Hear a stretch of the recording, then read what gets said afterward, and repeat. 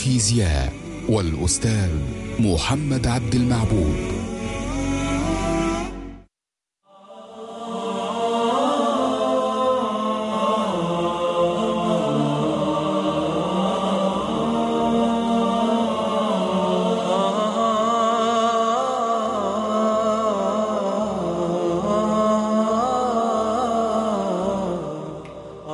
بسم الله الرحمن الرحيم. السلام عليكم ورحمة الله وبركاته. أهلا بكم أعزائي طلبة في حلقة جديدة مع مادة الفيزياء النهاردة إن شاء الله هنكمل مع بعض الفصل التاسع. هنبدأ مع بعض النهاردة إن شاء الله بتوصيل المقاومات على التوالي وعلى التوازي. آه نسمي الله كده بسم الله الرحمن الرحيم. بالنسبة لتوصيل المقاومات على التوالي أنا بعتبره هو أهم الأجزاء. لو معانا مثلا يا جماعة بطارية.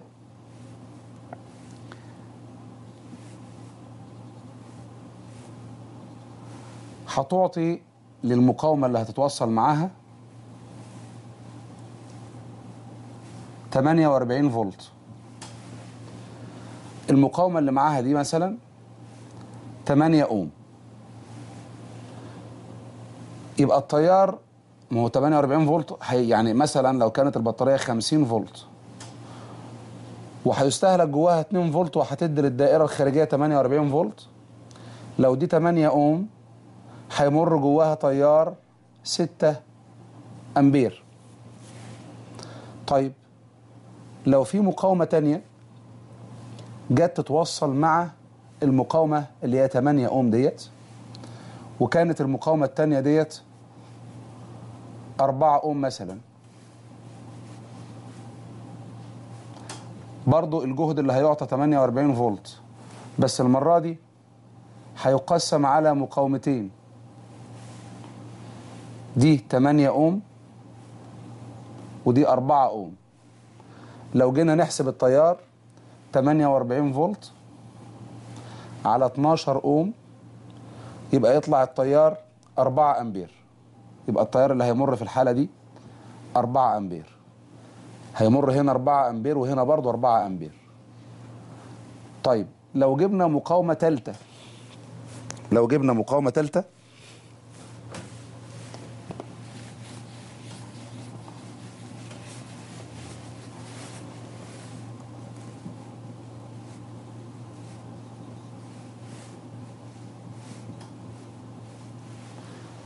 واحدة 12 اوم 8 اوم 4 اوم لاحظ إن المقاومات كده 24 اوم الجهد 48 فولت التيار الكلي 48 على 24 يطلع 2 أمبير وهيمر فيهم كلهم. طيب بعد ال- الأرقام ديت هنتوصل إلى لو إحنا قلنا إن الجهد هنا 48 فولت لما نوصل عند النقطة دي برضو ما زال يا جماعة عند النقطة ديت الجهد هنا ما زال 48 فولت.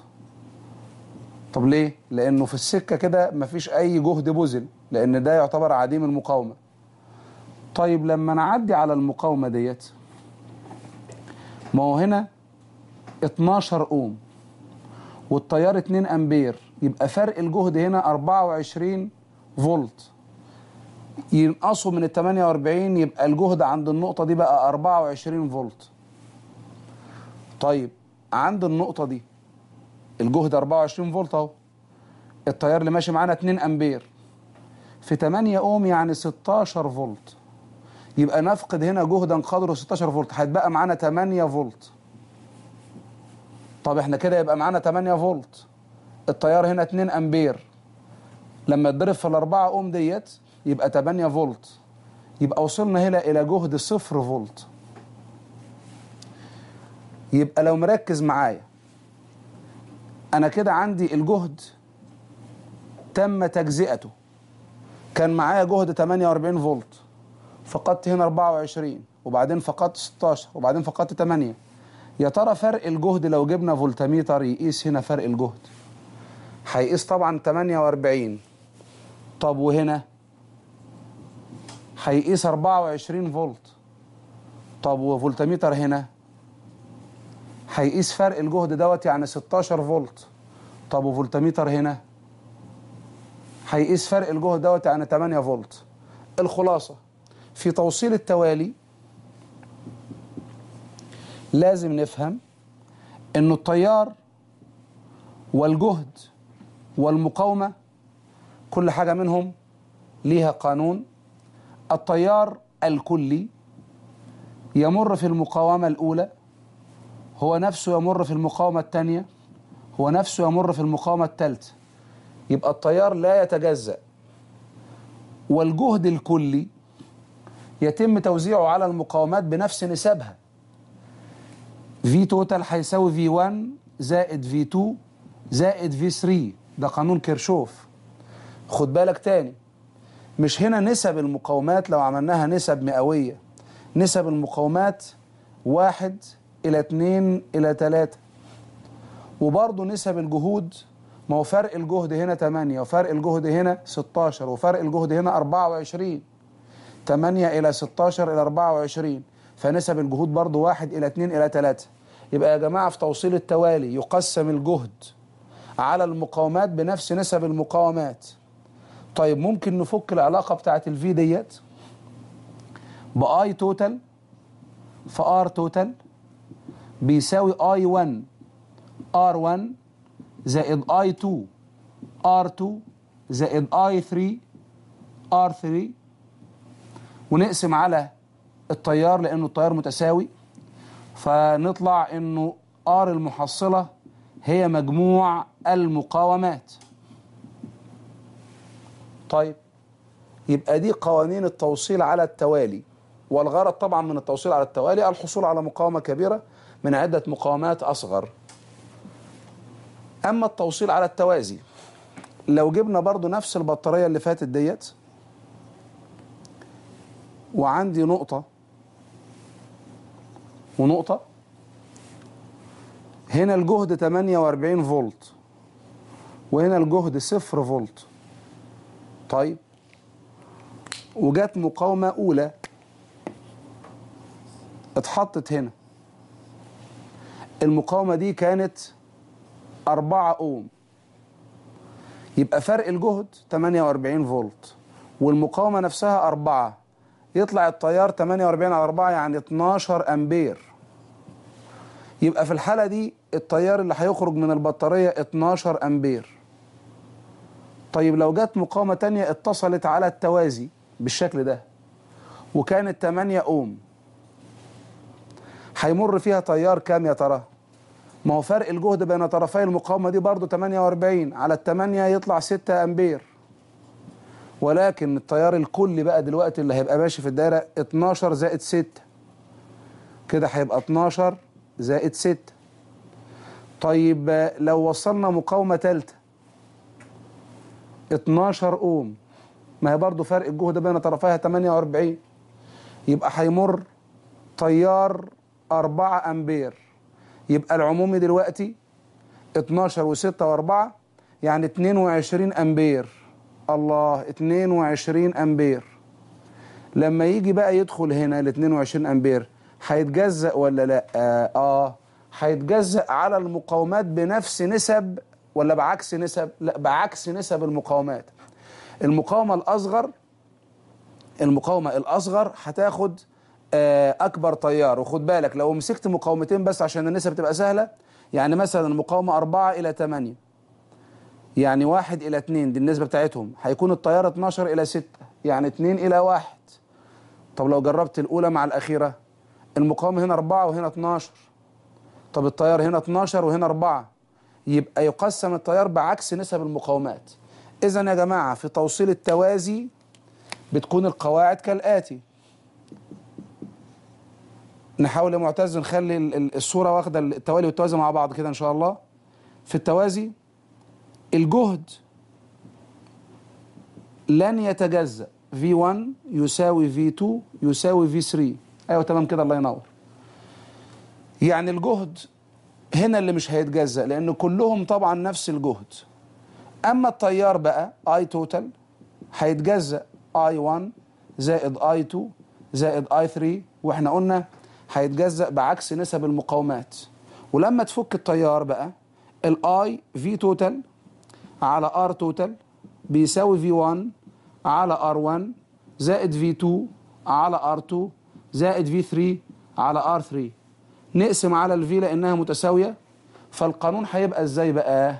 مقلوب المحصلة بيساوي مقلوب R1 زائد مقلوب R2 زائد مقلوب R3 طيب تمام. صلي على النبي صلى الله عليه وسلم. طبعا الغرض من توصيل التوازي الحصول على مقاومة صغيرة من عدة مقاومات أكبر. آه في اختصارات لما يكون في التوازي ماشي في الاختصارات لو هي لو مقاومات متساوية تبقى R المحصلة على طول بتساوي قيمة الوحدة على عددهم.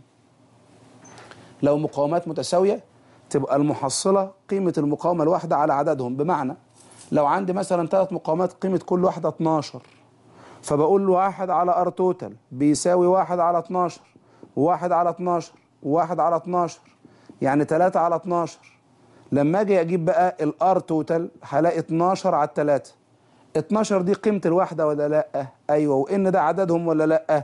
يبقى نعمم القاعدة. لما تكون عندنا مقاومات متصلة على التوازي ومتساوية القيمة يبقى المحصلة قيمة المقاومة الواحدة على العدد. طيب القاعدة الثانية في الاختصارات بقى ودي مهمة جدا اللي هم لما يكونوا مقاومتين فقط لما يكونوا مقاومتين فقط بنختصر الكلام ونقول ضربهم على جمعهم. ليه؟ لأنه لو مقاومتين بس واحد على R total بيساوي واحد على R 1 زائد واحد على R 2 فلما هتوحد المقامات هنوحدها مثلا على ضربهم R 1 في R 2 واللي هيتعمل فوق طبعا ضربهم دوت تقسمه على R 1 يتبقى لك R 2 زائد تقسمه على R 2 يتبقى لك R 1 ده بيساوي واحد على R total يبقى المعدول بتاعها لما نيجي نعدلها R total بتساوي R 1 في R 2 على R 1 زائد R 2 يبقى الصورة النهائية نحفظها ومش لازم نثبتها بقى إنه لما يكون مقاومتين فقط متصلين توازي نقول ضربهم على جمعهم. يبقى نلخص الكلام دوت ونقول إيه؟ في حالة توصيل مقاومتين فقط على التوازي R total لمقاومتين بتساوي ضربهم على جمعهم. والقاعدة دي على فكرة ممكن تستخدمها لأكتر من مقاومة بس إزاي؟ مش كلهم ضربهم على جمعهم لا تمسك اتنين اتنين. تمسك اتنين اتنين. يعني مثلا لو أنا عندي ثلاث مقاومات ثلاثة ستة اتنين. دي لما نيجي نشتغلها ممكن باختصار كده تاخد الثلاثة والستة مع بعض. ما هم مقاومتين. خلصهم مع بعض. ضربهم على جمعهم. ضربهم 18 على جمعهم. 9 يطلع 2 آه يبقى دول محصلتهم باتنين. يبقى نمسحهم ونحط مكانهم اتنين. خلاص بقى اتنين واتنين. اتنين واتنين قيمة الواحدة على عددهم. يعني اتنين على واحد. أو ضربهم على جمعهم هتطلع أربعة على اتنين يطلع اتنين. أربعة على اتنين تاني. اتنين على اتنين يطلع فيها الواحد. طيب آه ده جزء ابتدائي في توصيل التوالي والتوازي بس في ناس عندها مشكلة. مشكلة لما يكون عندي مقاومات كتير على التوالي أو على التوازي وعايز أجيب التيار في كل واحدة. يا ترى هجيبه إزاي؟ تعالى كده ندي مثال.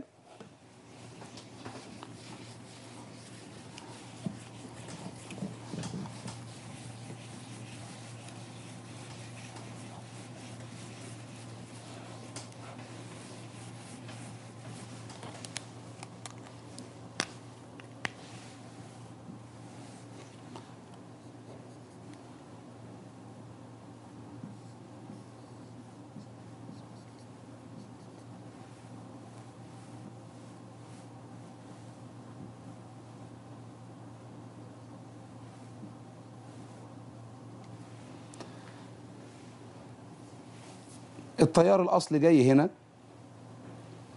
مثلا لو هو قال لي على الدايرة دي أو على الجزئية ديت من الدايرة إنه هنا 50 فولت. يعني فرق الجهد الكلي 50 فولت. وقال لي إنه الجهد عند النقطة دي هيبقى صفر فولت. طبعا معنى كده إن الجهد هنا في البداية 50 فولت. يبقى في 50 فولت هيتوزعوا على المقاومات ديت. طيب إيه البيانات اللي ادهاني؟ مثلا آه قال لي إن المقاومة دي 5 أوم والمقاومة دي 6 ودي 3 ومثلا 12 12 6 طيب أتعامل إزاي عشان أكمل التيارات كلها اللي في الدايرة؟ أول خطوة أنا عندي الجهد الكلي. طيب وبعدين؟ أجيب المقاومة الكلية. طب هجيبها إزاي؟ هنا 12 و12 6 6 و6 3 يبقى المنطقة دي 3 أوم.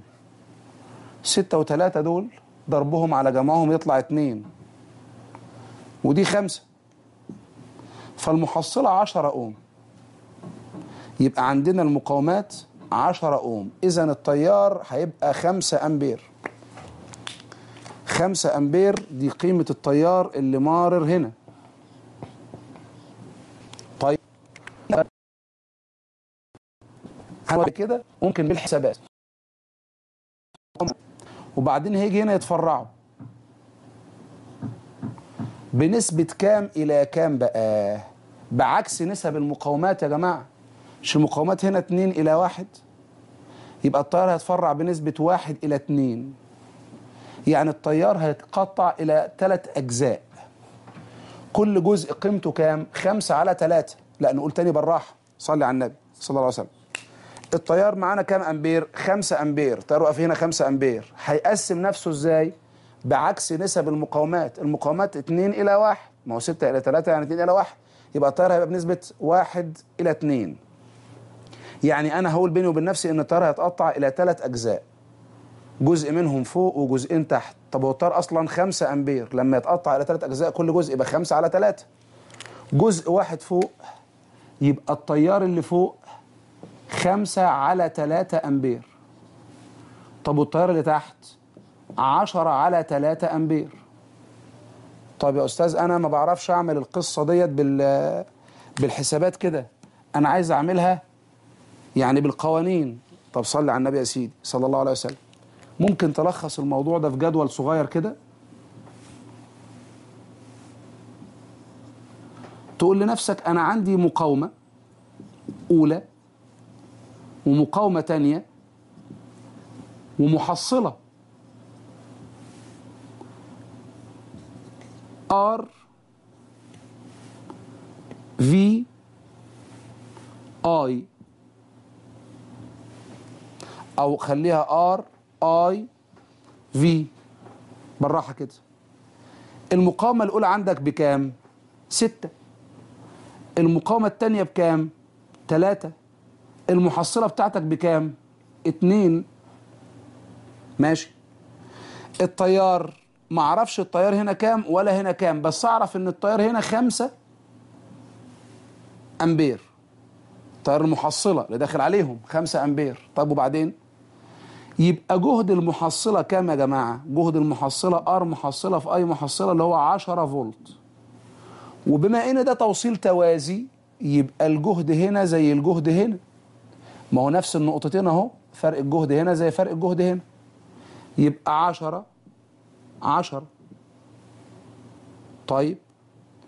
طيب قيم التيار بقى هتتجاب إزاي؟ هيبقى التيار في ديت عشرة على التلاتة. في على آر. طب والتيار هنا؟ عشرة على ستة. عشرة على ستة لما نختصر هيبقى خمسة على التلاتة.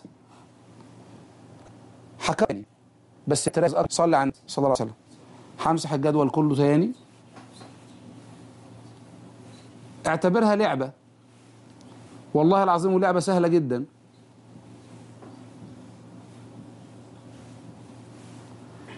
مش ده جدول توازي؟ تعال نشوف قواعد اللعبة. يا ترى آر المحصلة بتتجاب إزاي بالنسبة لدول؟ دي ضربهم على جمعهم. ماشي. طب في التوازي آي المحصلة مجموع التيارين طب في التوازي في المحصلة تساوي V V هنا و V هنا لأن الجهد هنا لا يتجزأ. طب سجل المعلومات اللي أنت تعرفها فقط. أنا أعرف إن في مقاومة ستة وتلاتة تبقى المحصلة اتنين. والتيار العمومي اللي ماشي فيهم 5 أمبير يبقى الجهد I في R ب 10 فولت. يبقى دول كمان 10 فولت. يبقى التيار هنا V على R بخمسة بعشرة على تلاتة.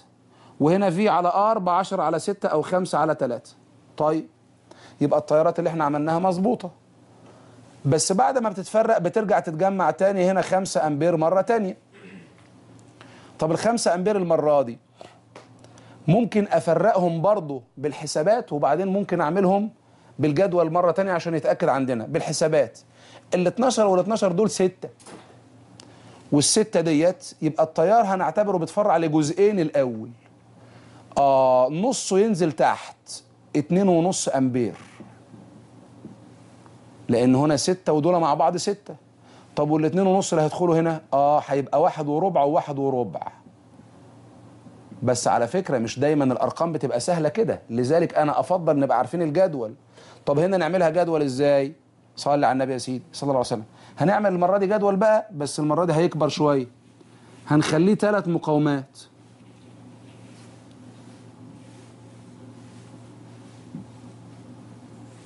يبقى مقاومة أولى وتانية وتالتة ومحصلة.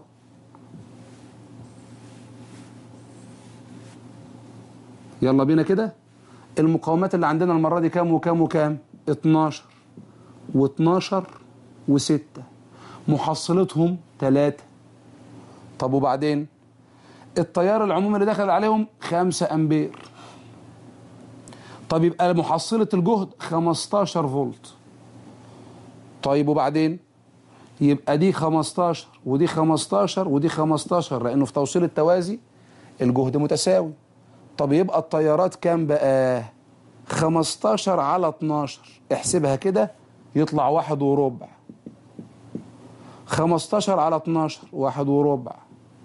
15 على 6 اتنين ونص. لما تجمعهم يطلعوا خمسة يبقى إحنا ماشيين مظبوط. تمام؟ صلي على النبي صلى الله عليه وسلم. كمان بقى عايز أشوف موضوع النقط دوت. هو إحنا جبنا فرق الجهد هنا كام يا جماعة؟ فرق الجهد هنا لو فاكر ده كان 15 فولت في المقاومات ديت. طب وفرق الجهد هنا كان كام لو فاكر؟ كان 10 فولت. لأن المقاومتين محصلتهم اتنين في التيار العمومي 5 أمبير. طيب وفي الأولانية بقى كان 25 فولت. طب لو حبينا نجيب الجهد عند كل نقطة بص يا سيدي. الجهد هنا كام فولت؟ 50 فولت. ماشي معاك 50 فولت اهو. عديت على المقاومة دي هتفقد فيها 25 فولت. يبقى هيتبقى معاك كام؟ 25 فولت. طب هتعدي هنا دول محصلتهم 2 اوم. وانت تيارك 5 امبير يبقى هتفقد هنا 10 فولت. يبقى هيتبقى معاك 15 فولت. هتفقدهم هنا لأن تيارك 5 أمبير والمقاومات 3 يبقى ال 15 فولت لما تفقدهم هتوصل هنا إلى 0 فولت. يبقى يا جماعة الجهد عند النقطة دي 50 فولت. 25 فولت. 15 صفر.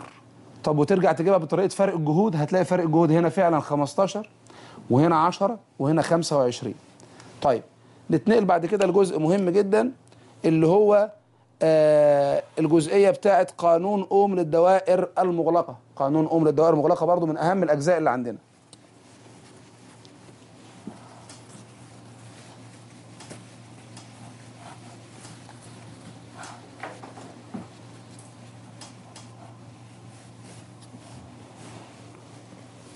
صلى على النبي صلى الله عليه وسلم.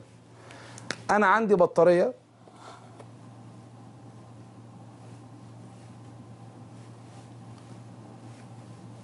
أنا راسمها بالشكل ده عشان تبان إن هي كموصل.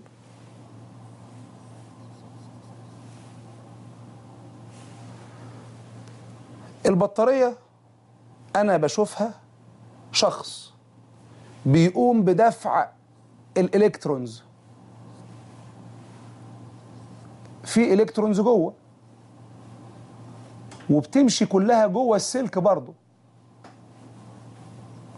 بيدفع بعضها بعض.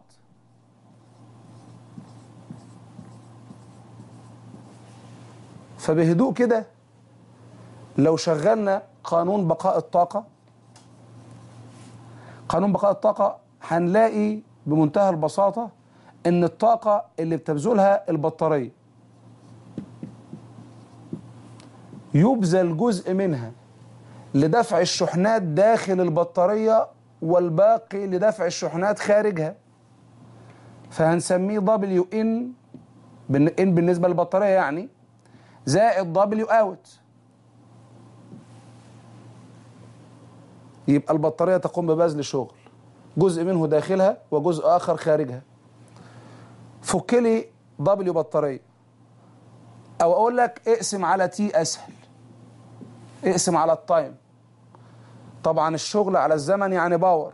يبقى power بطارية. هيساوي power in. زائد power out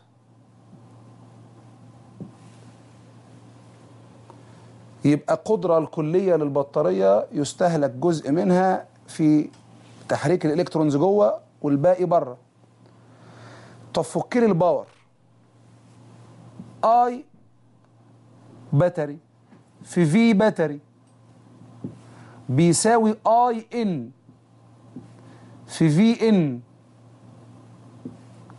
زائد I out V V out نحاول نخليهم كلهم في الكادر يا معتز إن شاء الله. اقسم على ال I. ليه هنقسم على ال I؟ لأنه التيار يا جماعة ثابت في كله. يبقى ال I اللي ماشي في البطارية هو التيار اللي ماشي بره هو اللي ماشي جوه. يعني نوصل إلى إنه V battery يقسم إلى جهد يبذل بداخلها وجهد خارجها. طيب كمل وما تزهقش. V battery سيبها ما تفكهاش. طيب V in يتفك إزاي؟ I in اللي هو ماشي جوه. طب ما هو الكلي ماشي فمش هحط له علامة. في المقاومة الداخلية بتاعتها هنسميها R سمول زائد آي اللي ماشي بره زي اللي ماشي جوه. ف R out اللي هي مجموع المقاومات الخارجية. تمام نقدر ناخد ال I عامل مشترك. فطبعا العلاقة هتبقى V battery بتساوي I R زائد r تمام. أنا كده اولا أنت غير مطالب بإثبات القانون ده بس صدقني لو أنت بتفكر بالمنطق هتحتاج الإثبات ده لأن ده الأساس اللي مبني عليه الشغل كله. طب وصلنا V battery بتساوي I في R زائد r يبقى V battery. وصلنا I في R زائد r طيب معنى كده إنه I هتساوي V battery على R زائد r ده طبعا يشبه قانون أوم اللي إحنا حافظينه اللي هو I بتساوي V على R بس ده هنقول عليه قانون أوم للدوائر المغلقة يعني ده بتاع الدايرة كلها. فهنقول إيه بالعربي؟ اذا شدة التيار الكلي في الدائرة هو حاصل قسمة. إيه على إيه بقى؟ القوة. وعلى فكرة المفروض نخليها بالجمع القوى لأن ممكن يبقى في أكتر من بطارية. القوى الدافعة الكهربية على مجموع المقاومات الداخلية والخارجية. ده اسمه قانون اوم للدوائر المغلقة. طيب في حاجة كمان اسمها كفاءة البطارية. كفاءة البطارية. صلي على النبي صلى الله عليه وسلم. لو فكرنا بالعقل كفاءة أي جهاز هي الطاقة المطلوبة اللي خارجة منه على الطاقة اللي داخلاله. مثال لو أنا عندي مروحة بتاخد 100 جول كهرباء في الثانية وبتديني طاقة حركية 80 جول في الثانية و20 جول بيفقدوا في صورة حرارة وصور أخرى غير مرغوبة بنقول هنا كفاءتها 80% قسمنا الطاقة اللي خارجة منها وهي مرغوبة على الطاقة اللي كانت داخلها طب بنفس المنطق البطارية أنا جايبها والغرضي تحرك لي الشحنات بره. يبقى ده المطلوب منها. أما الشغل المبذول في تحريك الإلكترونات داخلها ده ما يخصنيش في حاجة دي مشكلتها هي. فلذلك كفاءة البطارية. هنعد كده القوانين اللي هنقولها على كفاءة البطارية بس بعد ما تصلي على النبي صلى الله عليه وسلم. عايزين نحط spot عليها كده الجزئية اللي جاية؟ كفاءة البطارية تساوي W out اللي هو الخارجي بقى على W battery تمام؟ طب ما انت لو قسمت على ال time يبقى تنفع power out على power battery طب كمل. طب ما انت لو فكيت ال power battery هتبقى V battery هتبقى البا- ال- ال power out هتبقى V out في I على V battery في I فممكن تشيل ال I مع ال I يبقى V out على V battery طب ما انت لو فكيت الفي اوت باي ار والفي باتري باي ار زائد ار تقدر تشطب ال I مع ال I وتبقى كفاءة البطارية R على R زائد r وده أسهل قانون من قوانين الكفاءة. ويا ريت ما تحفظش الله يخليك. عايزك تبقى فاهم. ما هو أنت لو فاهم هتتعب شوية في الأول بس بعد كده لما تنسى هتعرف تجيب لوحدك قانون كفاءة البطارية. طيب هقول حاجة شبه الكفاءة بس بالعكس. بس صلي على النبي الأول برضه صلى الله عليه وسلم. اللي هو نسبة الجهد المفقود. نسبة الجهد المفقود من البطارية. نسبة الجهد المفقود. هتساوي.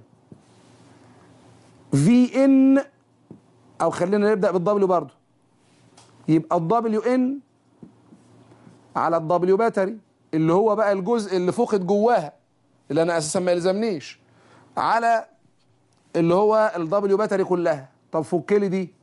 يبقى power in على power battery اقسم على ال I هتبقى V in على V battery فك يبقى I R small على I R capital زائد R small أشطب I مع I فتبقى أسهل صورة للجهد المفقود r على R زائد r الأساسيات دي يا جماعة شيء مهم جدا معرفة كفاءة البطارية ونسبة الجهد المفقود. طيب نبتدي ناخد بعض الأسئلة البسيطة كده عشان نربط الأجزاء دي كلها ببعضها.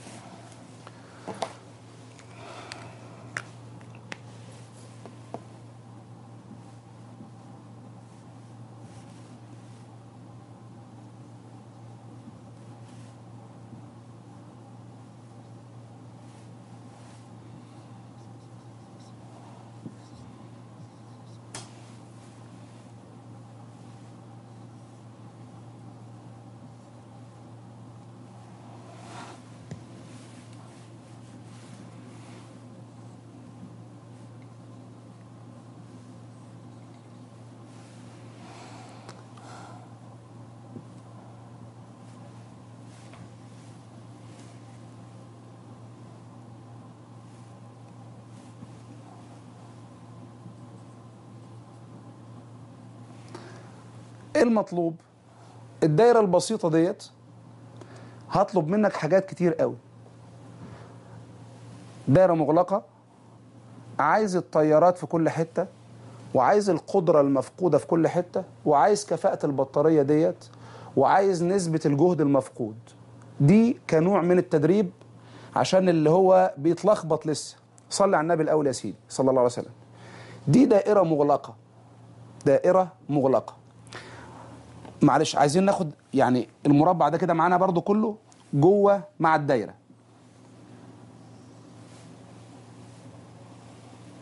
أول حاجة طالما هي دايرة مغلقة قول لي ال V battery بكام. وبعدين R بكام. ويبقى R زائد r بكام. و I الأصلي بكام. رد يلا على قد السؤال. ال V battery ب 20 فولت. طب و R الخارجية؟ والله ال 18 والتسعة دول 6 احسبها براحتك. زائد التلاتة يبقى تسعة. طيب وآ و R زائد r بقى يطلع عشرة.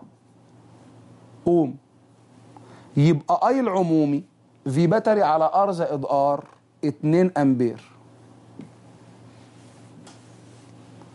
طب يلا بقى نمشي مع التيار كده. جزء جزء. التيار اللي هيخرج من هنا 2 أمبير. هيعدي هنا 2 أمبير. طيب نيجي هنا. نلاقي قدامنا سكتين يا جماعة. المقاومات بنسبة 2 إلى 1 هيبقى التيار بنسبة 1 إلى 2 يعني يقطع التيار ثلاث أجزاء. جزء واحد يعدي فوق يبقى فوق 2 على 3 أمبير. 2 على 3 أمبير. طب وتحت جزئين؟ 4 على 3 أمبير. مش عايز أعملها جدول تاني عشان وقت الحلقة. طيب ويرجع يتجمع تاني ويدخل. طيب إيه المطلوب بقى؟ المطلوب يا سيدي أنا عايز power battery لوحدها و power out مرتين. مرة جملة ومرة يعني مقاومة مقاومة. وعايز power in. صلي على النبي يا سيدي صلى الله عليه وسلم. power battery هيبقى بمنتهى البساطة V battery في I V battery ب 20 و I ب 2 يبقى 40 واط. خد بالك بقى. يبقى دلوقتي البطارية شغالة بقدرة 40 واط. يبقى لازم ال power out زائد ال power in مجموعهم يطلع 40 واط. طب هتجيبهم إزاي؟ بص يا سيدي لو هتجيبهم بالجملة ال power out ينفع يتجاب V out في I وال V out يتفك ب IR out ف IR out في I يعني I تربيع R out طب I تربيع بكام؟ 2 في 2 بأربعة. و R out بكام؟ بتسعة. يبقى يطلع 36 واط. طيب و power out بالتفاصيل. صلي على النبي يا سيدي صلى الله عليه وسلم. تجيب القدرة عند كل مقاومة. القدرة عند كل مقاومة. لازم مجموع الثلاث قدرات دول يطلع 36 طب ما يلا نجرب. هنا. آي تربيع بأربعة في آر 3 يبقى 12 واط. زائد. آي تربيع 4 على 9 في 18 يبقى 4 على 9 في 18 زائد. آي تربيع 16 على 9 في 9 يساوي. يلا نجمع كده بالراحة. دي 9 مع 9 يبقى دي 16 9 فيها الواحد 9 فيها الاثنين يبقى دي 8 يبقى 16 و8 24 و12 36 واط. يبقى أنا كده شغال مظبوط. وأما ال power in قبل ما نحسبه لو أنت مركز معايا لازم يطلع 4 واط. طب ال power in يتجاب إزاي بهدوء كده؟ يبقى ال V in في I طب وال V in يتفك ب I R small يعني يطلع الناتج هنا I تربيع R small طب I تربيع لو مركز معايا يطلع 4 في R small بواحد يطلع الناتج 4 واط يبقى ده كده كلام مظبوط جدا. أنا كده دايرتي متظبطة تماما. عايز الكفاءة. الكفاءة سهلة. أجيبها بمنتهى السهولة عشان ما أضيعش وقت الحلقة. power out على power battery. 36 على 40 يطلع الناتج 90% ولو كنت استخدمت القانون الأسهل اللي هو pow اللي هو كفاءة البطارية وإحنا قلنا من شوية كفاءة R على R زائد R دي حسبناها بتسعة ودول كده عشرة. يبقى برضو 90% لما تضرب في 100 طب وعايز نسبة الجهد المفقود؟ نسبة الجهد المفقود يبقى power in على power battery. power in بأربعة على power battery ب 40 يطلع الناتج 10% إحنا بنفقد 10% جوه البطارية. طيب صلي على النبي صلى الله عليه وسلم. الجزء اللي بعد كده يعني إحنا كده أخدنا توصيل مقاومات توالي وتوازي وأخدنا قانون ام للدوائر المغلقة. آه في جزئية بتاعت قراءة الأميتر والفولتميتر والكلام عن ما يسمى دايرة الشحن. طيب.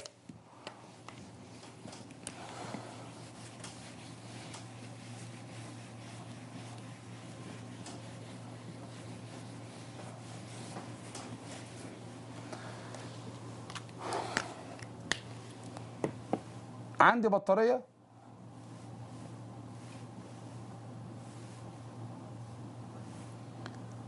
معاها مقاومة. ومعاها أميتر. وفي مقاومة تانية. معاها مفتاح. وليكن مثلا البطارية دي 12 فولت. والمقاومة دي 6 أوم. والمقاومة دي 3 أوم. أنا بختار أرقام سهلة يا جماعة لأنه المهم هو التعامل مع المسألة. إيه المطلوب؟ قراءة الأميتر. قبل وبعد غلق المفتاح K طيب المفتاح K لما يكون مفتوح. دي مسألة لوحدها. ولما يكون مغلق دي مسألة تانية. فلو سمحت عايزك تبقى مركز تماما. K مفتوح دي دايرة مغلقة. عايزك تحترم قوي الدايرة المغلقة. خد بالك المرة دي مش حاطط R small يعني أنت تهملها. طيب مجرد النظر يا أخي. I في الحالة ديت I مين I كلي V battery على R زائد R small بس ما فيش R small تطلع مجرد النظر 12 على 6 فيها 2 أمبير. طب التيار 2 أمبير ده خد بالك ما هو المفتاح مفتوح يعني دي أكنها مش معانا خالص. فالتيار 2 أمبير ده هيعدي كله في الأميتر ولا لأ؟ تمام.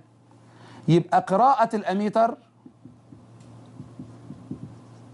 هتساوي هنا اي كلي يعني 2 أمبير. ده في حالة إن كي مفتوح.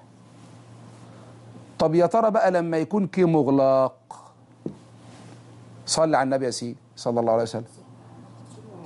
هنقفل. عيد من تاني الحكاية. ما تتسرعش. أكنها مسألة جديدة خالص. دلوقتي المقاومة الكلية كام؟ آه دول توازي مع بعض. المقاومة الكلية 2 أوم. يبقى التيار الكلي المرة دي 6 أمبير.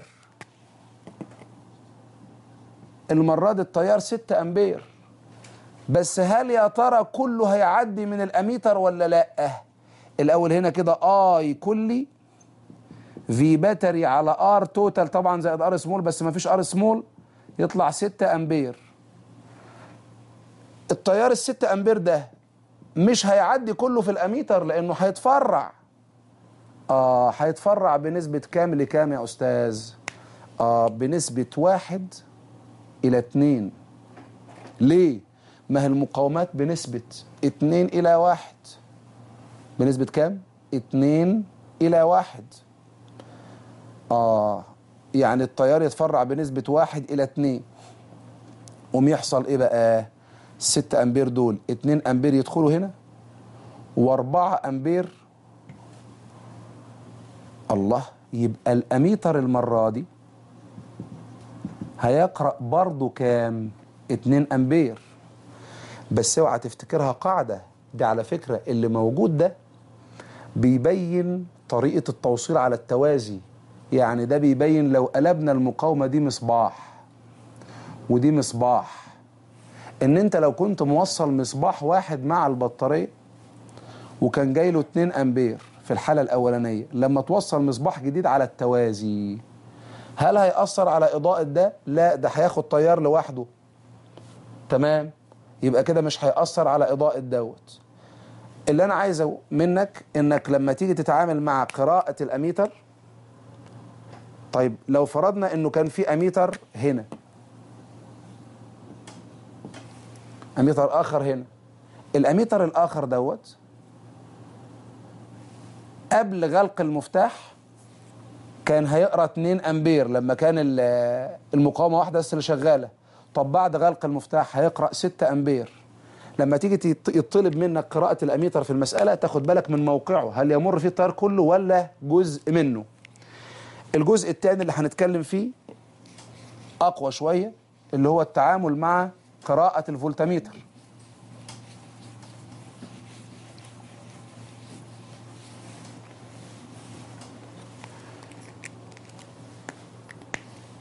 لو أنا عندي بطارية متوصل معاها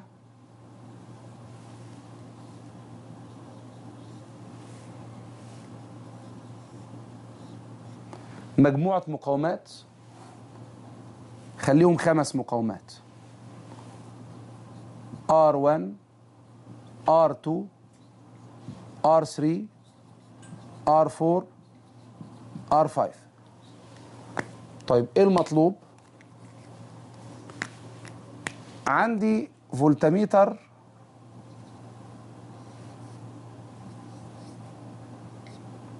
متوصل في الجزء ده. طبعا عندي دي V battery و R small صلي على النبي يا سيدي صلى الله عليه وسلم. لو كان في مفتاح في- الدائره الخارجية كده ومفتوح الفولتميتر ده هيقرأ V battery كلها. ليه؟ لأن مفيش خارج خالص. ده هو البطارية متوصلة مع الفولتميتر. يعني بيقرأ في باتري بس. طب لما نقفل بالله عليك تركز كده النقطتين دول هنبص لهم بصتين. بصة من جوه. عارف دول الإيدين بتوع البطارية. بالعربي الفولتميتر ده بيقيس إيه؟ ما تعطيه البطارية للدائرة الخارجية. الفولتميتر ده هيقيس إيه؟ ما تعطيه البطارية للدائرة الخارجية. طب ده مرادف لإيه بقى؟ طب البطارية بتدي إيه للدائرة الخارجية؟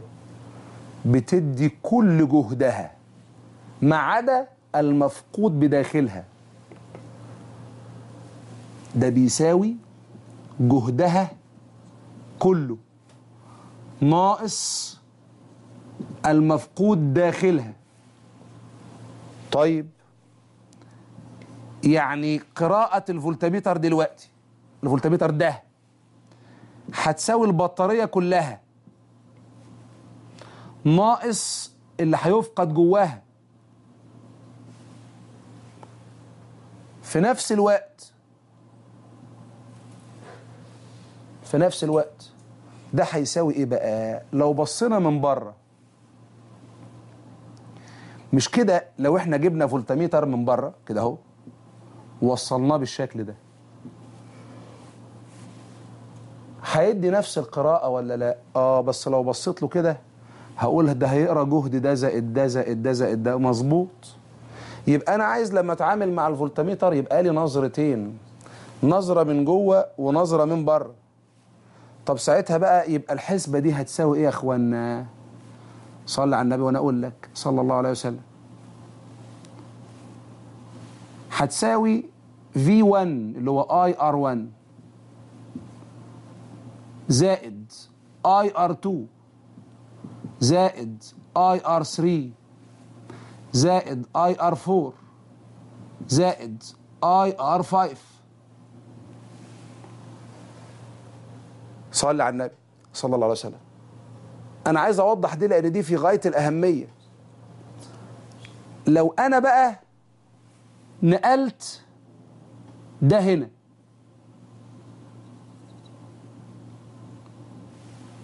يا ترى قراية الفولتميتر هتقل ولا هتزيد؟ صلي على النبي وأنا أقول لك صلى الله عليه وسلم. دلوقتي لو بصيت من بره كده بيقرأ جهد كام مقاومة بدل كام؟ أربع مقاومات بدل خمسه يبقى كده قلت. ولو بصيت من جوه تبقى قلت برضو عارف ليه؟ لأنه هيقرأ ال V battery. ناقص ما يستهلك جواها وما يستهلك هنا. تاني هيقرأ كده ال V battery كلها ناقص ما يستهلك جواها وما يستهلك هنا.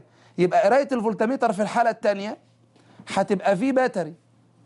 ناقص IR small ناقص IR 1 وده بيساوي IR 2 لحد R 5 طيب. لو نقلنا الفولتميتر هنا يبقى دلوقتي يا جماعة لو نظرنا من بره يبقى جهد كام مقاومة 3 وبيقرا البطاريه كلها ما يفرق يبقى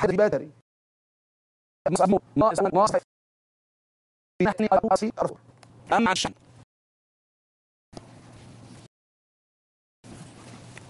عندي بطاريتين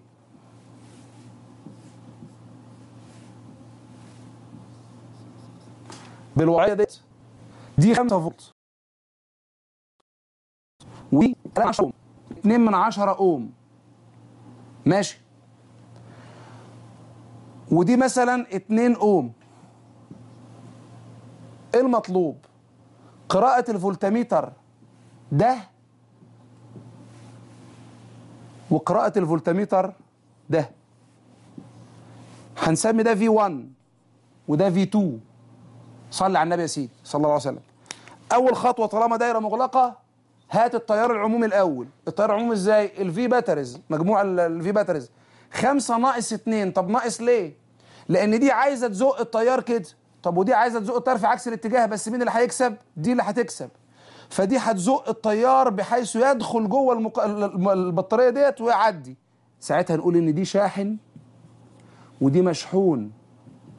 تمام؟ يبقى ال V batteries بتلاتة عشان الموجب في الموجب والسالب في السالب. طيب. والمقاومات الخارجية بكام؟ اتنين من عشرة وتلاتة من عشرة يعني نص. واتنين يبقى اتنين ونص. يبقى التيار العمومي تلاتة على اتنين ونص. يعني يطلع واحد واتنين من عشرة أمبير. التيار كده هيبقى واحد واتنين من عشرة أمبير. طيب تمام. البطارية اللي بتشحن لما يجي الفولتميتر يركب هنا عارف هيقيس ال V battery بتاعتها ناقص الجهد المفقود جواها. يعني هيقيس كام؟ خمسة. ناقص. افتح قوس. واحد واتنين من عشرة في تلاتة من عشرة. تمام؟ أما البطارية التانية وده مهم جدا بقى البطارية التانية دي يا جماعة ما بتطلعش مش شغالة ما بتديش دي بتاخد. فلما التيار هيعدي ده هيعدي جواها. فإيه اللي هيحصل؟ هو قبل ما التيار يعدي كان الفولتميتر بتاعها قايس 2 فولت. طب ولما التيار دخل كمان وعدى على مقاومتها الداخلية يبقى قرايته هتزيد لأن في الحالة دي هيقيس ال V battery بتاعتها زائد IR small بتاعتها برضو زائد مش ناقص لأن دي بتتشحن. تاني يا جماعة بتتشحن يعني ما بتطلعش تيار يعني ما فيش جهد بيفقد داخلها. ده هو هنا هي يعني هي نفسها ما بتفقدش جهد داخلها. ده في تيار بيعدي وبيبذل جهد جواها. فكده قراية الفولتميتر. بتقرأ ال V battery زائد الجهد المبذول جواها. طيب يعني إيه؟ يعني هنقرأ 2 زائد. افتح قوس. التيار العمومي كام؟ واحد واتنين من عشرة في اتنين من عشرة. يطلع اتنين واربعة وعشرين من مية فولت. طيب دي كانت توصيل المقاومات ودايرة الشحن. للأسف وقتنا خلص بس المرة اللي جاية إن شاء الله هكمل لسه لأن في في التاسع حاجات مهمة جدا بالنسبة للأشكال الغريبة بتاعه المقاومات دي وإن شاء الله هنبسطها جدا بطريقة اسمها طريقة النقط. آه، فالمرة الجاية إن شاء الله نبدأ بالتاسع ونكمل العاشر إن شاء الله. نستودعكم الله والسلام عليكم ورحمة الله وبركاته.